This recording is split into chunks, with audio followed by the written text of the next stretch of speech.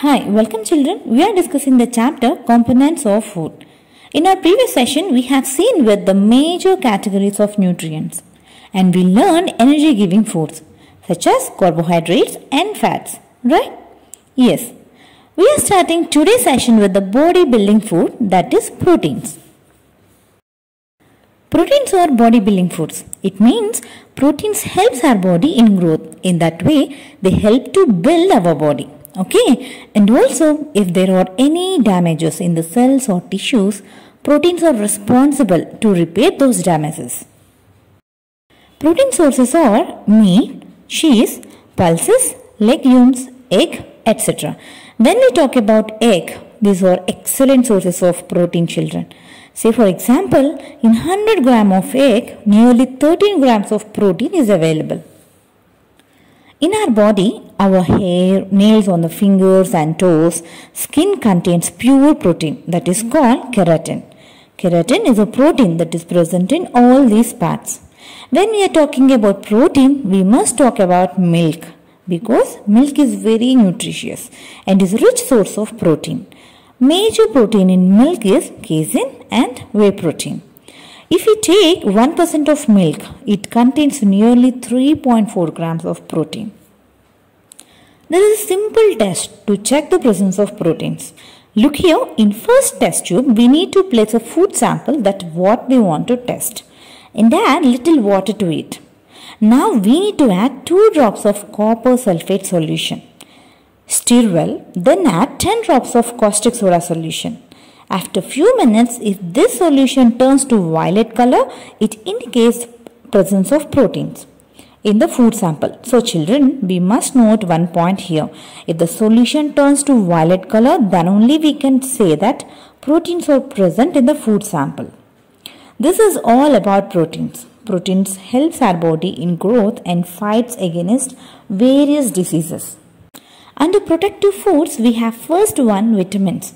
Basically, the word vitamin comes from the Latin word where vita means life. So, vitamins are essential to our life. Compared with carbohydrates, proteins and fats, vitamins are required in small quantities to our body. They protect our body against various diseases. Say for example, if our body lack with vitamins, definitely will become sick.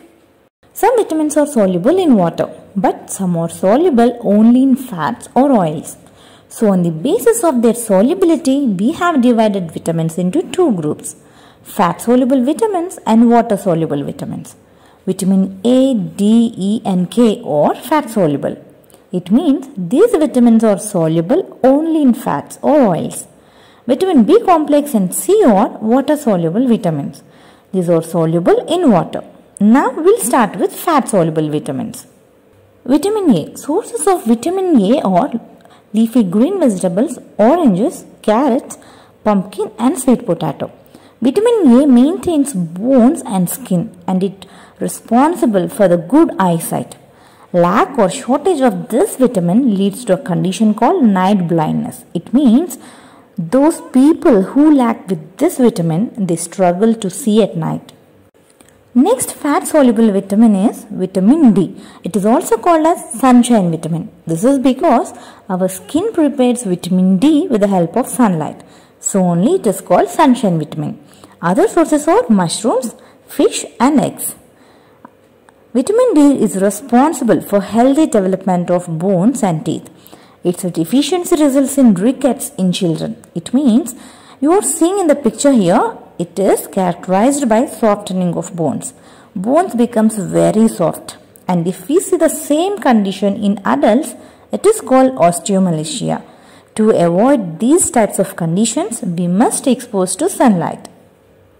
Next fat soluble vitamin is vitamin E. Sources are soybean oil, pine nuts, apricots and spinach. Vitamin E helps in formation of vitamin K and also it is responsible for the formation of red blood cells.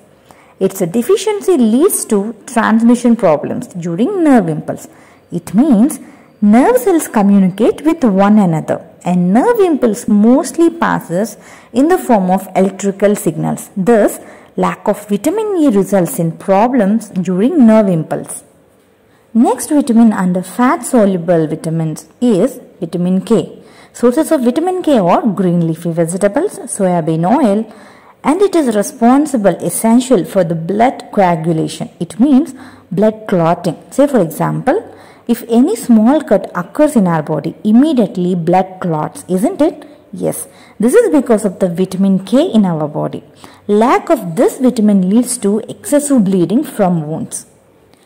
Next we are going to talk about water soluble vitamins. Under this we have vitamin B1. It is also called as thiamine. Sources are dried herbs, sunflower seeds, whole grains, sesame seeds, brown rice, etc. This vitamin helps to convert carbohydrates into energy and its deficiency leads to beriberi. This condition mainly damages the nerves, especially in the arms and feet and other symptoms like loss of appetite and loss of weight occurs due to vitamin B deficiency. Next water soluble vitamin is vitamin B2. It is also called riboflavin. Sources are almonds, bananas and green beans. Vitamin B2 it is responsible for the formation of red blood cells and its deficiency leads to cheilosis. Look into the picture here it is a type of skin disorder where we can see cracks in the corner of mouth. Vitamin C. Rich sources of vitamin C are cauliflower, papaya, oranges, strawberries, etc.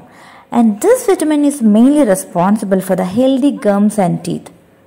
Focus here, its deficiency results in scurvy and gingivitis, where in scurvy we can observe bleeding and loosening of teeth and in gingivitis, swelling of gums occurs. This is all about fat and water soluble vitamins. Hope you liked today's session. Please like this video and don't forget to subscribe. Thank you.